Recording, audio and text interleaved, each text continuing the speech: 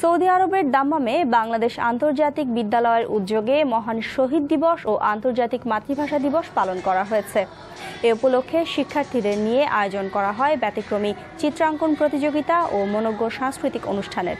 বিদ্যালয়ের অধ্যক্ষ রাজ্জুল মাসুম ও সহকারী অধ্যক্ষ মোহাম্মদ নওফেলের ব্যবস্থাপনায় অনুষ্ঠান পরিচালনা করেন শিক্ষক মামুনুর রশিদ ও নিগার সুলতানা।